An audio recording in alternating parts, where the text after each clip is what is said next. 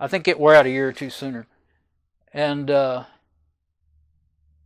the uh, the new one, so if it lasts another 10, 11 years, then that's okay, you know. This kit, the last kit I bought uh, a year or year and a half ago, it cost 75 bucks. They weren't near that expensive before. But it it's the whole thing. It's not just this. You can get the bearing and all that. The new trailer hitch ball, the new baby ball, baby trailer hitch ball, and the and the bushing, uh, and everything, and a little bit of that grease that they use comes in a little tube for say 25 35 dollars, depending on where you go, and. Uh,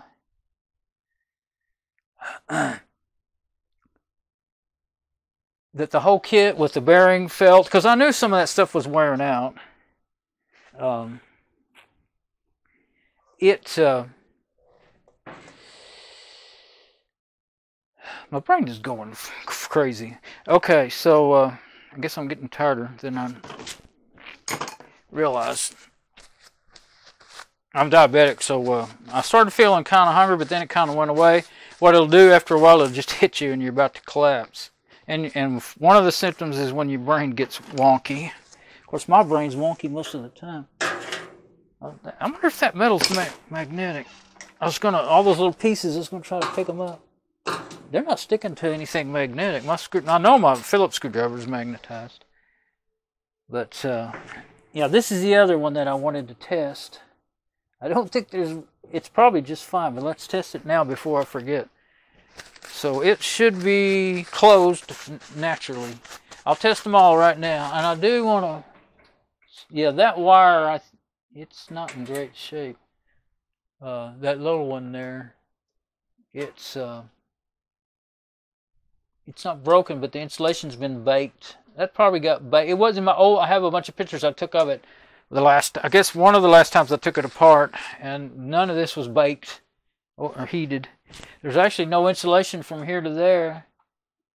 Uh, and actually, it was in the pictures, and, but it looks like it was probably done in the factory. There's another, there's another one up here that's that way. Oh yeah, I want to test that. Uh, the incoming. I guess that doesn't matter. Well, I'll test it, make sure. I don't think my. Uh, that's actually good news because the most expensive part on the dryer is that doggone timer thing. I, I it's uh, I saw some used ones. I, I, don't. I hate eBay. I wouldn't buy nothing on eBay ever. But I saw some on eBay for twenty five. Probably the shipping was twenty five or forty dollars. That's one of the reasons I hate eBay. But anyway, uh, used ones they say work, but you're taking a big risk when you buy stuff like that. But new ones were the new ones were $130 or 40 dollars to 375 dollars, depending on where you went, you know. And uh, well, these these, uh, what I'm going to do, I think, is get my vacuum. Well, I'm either going to have to pick those up or get my vacuum, but there's so much grease on these gloves now, I'm not going to touch my multimeter with them on, so I'll just get them off. and that's too greasy to keep using. So, uh, well, now I know what's really wrong with it. And so that, oh, this is about $75. Uh, and you know at some point if they, if if everything uh, wears out you know at some point you might really want to buy a new one and but you know you're looking at minimum 550 uh, probably for a new one or uh, up to I hope I didn't I saw a screw laying on this box didn't go in the little box over here uh, well I can if I'm missing a screw I'll have to try and remember where to look for it down in that box full of little paper plates and stuff. That's where we've been keeping them. But, uh, okay, so, uh, meter, contact, okay. Beepity beepity. Uh, that should be beepity beepity. Oh no, that's the, that's the, that's the connector for this. There we go. So yeah, if I connect to the other end of the, doesn't want to beep. It's kind of corroded from being overheated all the time. Okay, now here's the other. There we go. Six ohms. Five ohms, four, three. It keeps going down. Okay, now the one down here Can I reach that far? Yeah, I think I can. Uh-oh. This is the one I'm, there we go. Oh, I just accidentally touched the, I think I'm gonna have to, uh, get my light over this way. Can't really see what I'm doing. There go. Oh, there's more more connectors down there than I realized. So, uh, wow, there's a lot of connectors on that. I don't know what's what. There we go. I think.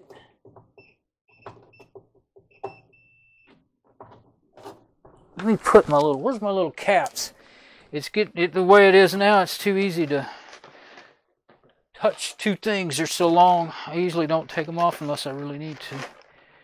These little caps keep you from touching stuff you don't want to. That's actually I didn't know they had they came off for the first year or year and a half I had this thing. I accidentally pulled one off one time trying to do something. Okay, I see a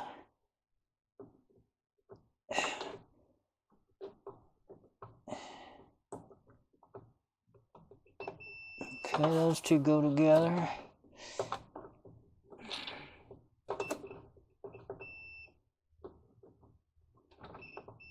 Those all go together, but this has got four wires on it.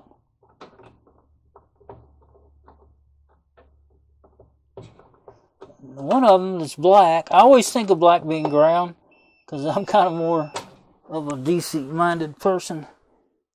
Uh, that uh, and I never can remember. You know, I mean, I don't. You don't. One thing about, especially in a house, since old house, well, no, appliances, anything. You know, people always get all bent up out of shape about color codes. There is no such thing as color codes. Every manufacturer, every electrician, every do-it-yourselfer, they use what they don't ignore whatever color. There is no manufacturer's color codes, but it, for houses like here in America, there's you know, black wire's generally supposed to be one thing, white's supposed to be the other, green is ground. Uh, so you need to know where they actually go. And, uh, you know, with AC, you can figure out which one's hot and which one's common, which one's uh, neutral. But that's the other thing, uh, the neutral and the ground. Okay, let's see. Yeah, our house only has two wires. We have you could call it common, but neutral is what we have. Neutral and hot. That's all we have. We do not have ground. We don't have a ground stake. We don't have a third wire. And uh, it makes it a little more, a lot of times when you're buying things, you know, you need to think about uh, how to make that work or, uh, in this house, you know. It's not unsafe. It's the most ridiculous thing. I, actually, the most, most trouble I've ever had is ground wires because uh, it's so easy to get things grounded when you don't want them grounded and burn things up. Now I can see down in there. Uh, one thing I had been kind of thinking about doing. Let me see. I'm, I'm not going to do the cleaning right now. I keep keep wanting to clean that stuff out of there. I am wondering where my clip went. My other clip. The one that was on this side is gone, and I know I saw it. I wonder if it's still on the door. Oh, I think that's what they're supposed to do is stay on the door. Yeah, I bet it's over there on the door.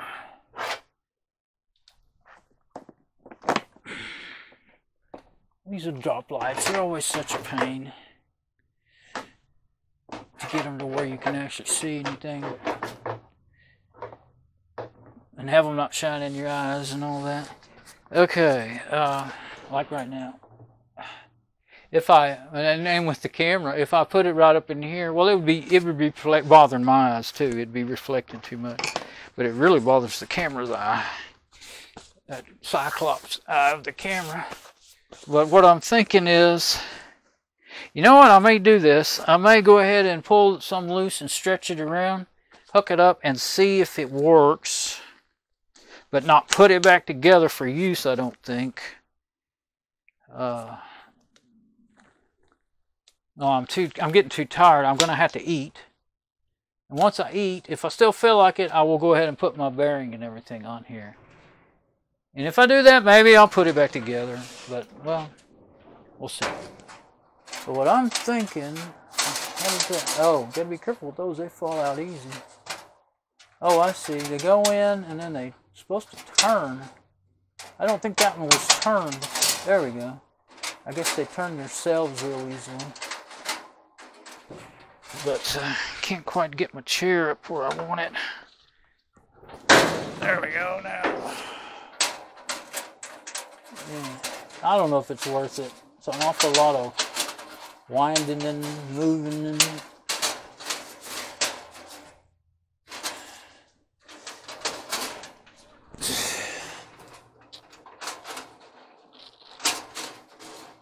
I think they'll go to right in there. Looks like it's pretty pretty burned up. Go to this one, and then it, what'll happen is they'll break on you because they're so old and worn. Okay. Yeah, and they sell this whole thing with the metal plate and everything for 75 bucks. But I saw one of these heating elements by itself for I think about 25 bucks somewhere would probably work. It was while I was searching for this brand and everything. But uh, there we go. That's enough to get it up there. I don't know how I'm going to connect it, but let's see. I think I was starting to have to Let's lean over the side and see if I can do it that way. No, I can't lean that far. I will fall on my head this bar that holds this thing together here is really in the way for working on this thing. Okay, I think what I'll do is, yeah, and then I can always just put some of it back together as much as I need to. I don't, I was thinking, should I take it off? I'm not going to ever recrimp that. So, I think I'm going to wire wrap it, maybe. Uh, wire wrapping is a real thing. Uh, if you've never heard of it, uh, I, I, had a job in 2000 installing uh, telephone uh, equipment in telephone company central offices. That's where your phones calls are switched and everything. And uh, had to go take a class on how to do some stuff, and wire wrapping was one of them. Kind of need this I think I'm gonna have to take it out to get to, to be able to do anything with it. Anyway, uh, and I've been in the uh, uh, central offices where the wire wraps were have been in there. You would maybe think that they uh, might be prone to uh, corrosion and getting bad connections, but if they're actually, it's actually you don't ever solder in a central office. That's the no-no and uh, wire wrapping is actually I didn't ever know this. I mean I've seen it here and there over the years, but I never thought it was a good thing, a good way to do something. But it over a hundred years old. I've been in central offices where the wire wrap, the old uh, electromagnetical, no electronics, no. Well, there's not. Most of the ones I went to did not have computerized stuff. The socket won't fit in there. Uh, that I worked in. I don't think I'm gonna have anything that's gonna fit in there. Oh yes I do. There it is. Only problem is what am I gonna get a hold of it with? Let's see. I don't have any Let's try the actual this is a quarter inch. I'll see if it'll get in there and get a hold of it. I didn't think it would. I'll see if it'll get a hold of that that one on an angle.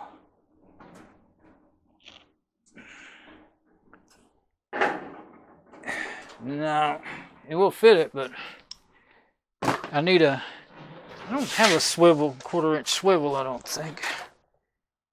Let's see, no. That's what I need is a swivel. Or just a pair of, I'll try my needle nose. This is probably not all that tight. I don't have any regular pliers over here. I can go get some, but I'm being lazy.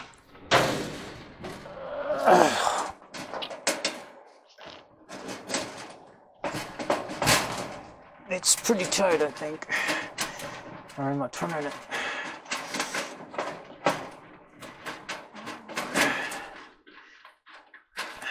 Is it worth that much trouble? I don't think it's worth that much trouble. Or did I loosen it somewhere? No, I don't think I did. Well, then I'd be fighting that one. I don't think it's a good idea now. Oh, I think I did turn it son. Yeah. Yeah, I had it loosened. Now, yeah, the uh, connector was moving all over the place. Well, I needed to take that off anyway.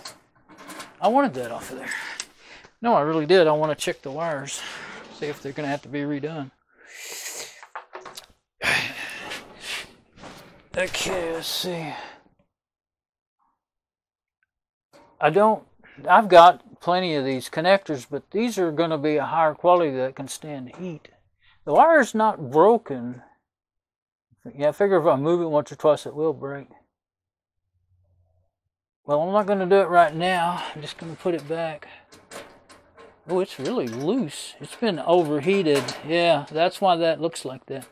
It needs to be redone. I guess I will put what I have on there. I'm just going to squeeze it right now to get it to stay on there. Well, that was so loose it would never, it was not making a good connection. Right now I'm just going to squeeze it so that it'll stay for my little playing that I'm doing here.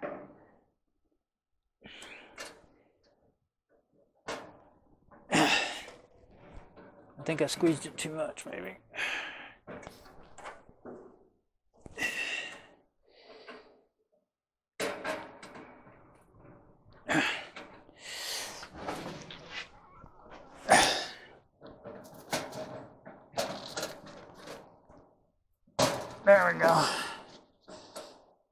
Yeah, the wires aren't broken or anything.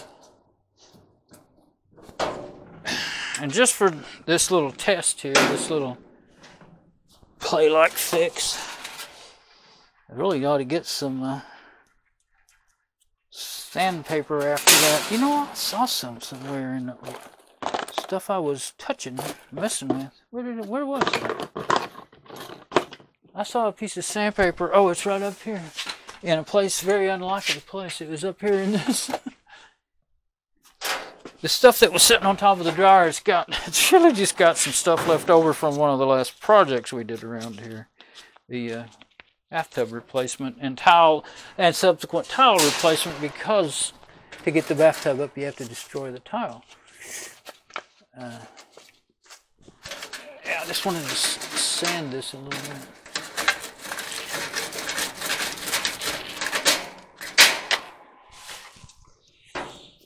I'm gonna, that piece is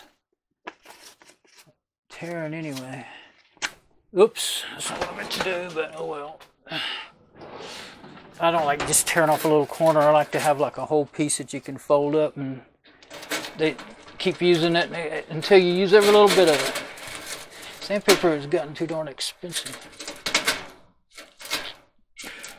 Okay, I think that's good enough for what I'm trying to do.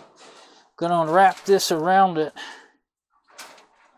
But uh, I have a wire wrapping gun, but it wouldn't do this. But uh, you actually have a little electric gun to wrap wire properly. It'd be funny if it would do this.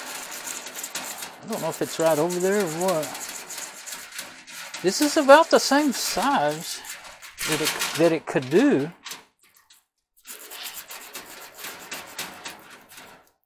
You know what? I think I may go see if that thing is handy. I haven't used it since I had that job. But, uh, I don't know. We'll see. Well, let's just try it like this first. Because uh, I'll have, probably have to disconnect my microphone to go over there. I'm rolling over my mic cord over and over and over. Not really a good thing. Okay.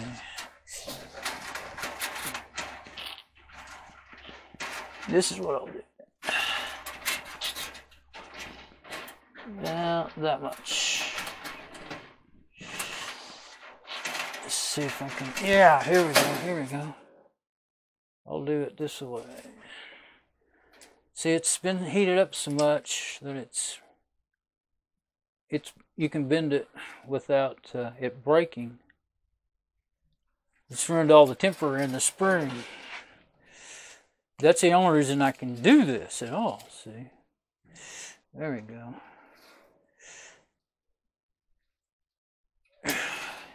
I don't think I, that was near tight enough to stay to anything. oh, maybe I can weave it through in and out. Well, it's kind of being. Let's just leave it like that and see if it'll go on. Quit falling, quit dropping. Oh, it broke down there. Right there where I was saying that it looked burnt. It's, yeah, this is what I was talking about. See, I've done, when I was, I think I was a kid when I did it. Trying to fix an old electric heater or something. It, it, it's been heated so many years that the whole thing is just ruined. Uh, that just broke. It's just that brittle. The temper's ruined in most of it, and uh, you can buy this stuff. I forgot the name of this wire, but it's a certain process, certain type of wire you can buy it in pieces of you know two to ten feet or whatever but uh, it's really fiddly getting getting it on there.